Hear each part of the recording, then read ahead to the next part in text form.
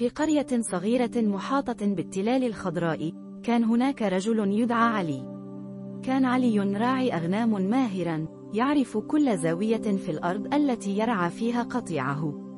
في يوم من الأيام انطلق علي مع أغنامه إلى المراعي البعيدة حيث كانت السماء زرقاء والشمس تتلألأ.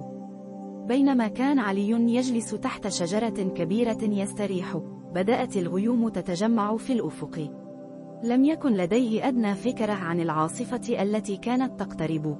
وفجأة انطلقت رعود قوية وتهاطلت الأمطار بغزارة.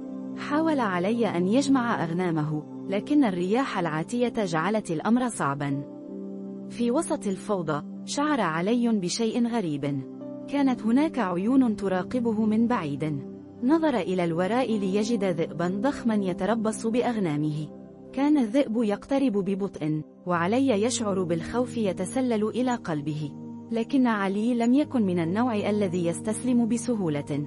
قرر أن يحمي قطيعه مهما كلفه الأمر. بسرعة استخدم عصاه ليشغل انتباه الذئب. بدأ يصرخ ويهتف محاولا إبعاد الذئب عن الأغنام. ومع كل صرخة كانت الرياح تعصف من حوله والمطر يتساقط بغزارة لكن علي لم يتراجع. كان لديه عزم لا يلين. فجأة وفي لحظة غير متوقعة انطلق صوت رعد هائل مما جعل الذئب يتراجع قليلا. استغل علي الفرصة وبدأ يجمع أغنامه بسرعة. ومع كل حركة كان يردد دعاء لحماية قطيعه.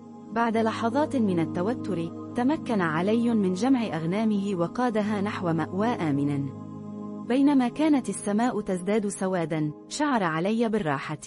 لقد واجه العاصفة والذئب وخرج منتصرا. عندما هدأت العاصفة وقف علي ينظر إلى قطيعه وهو يشعر بالفخر.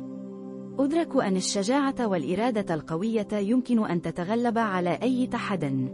ومنذ ذلك اليوم أصبح علي رمزا للشجاعة في قريته وبدأ يروى عنه قصة الراعي الذي واجه العواصف والذئاب ولم يترك قطيعه في محنته.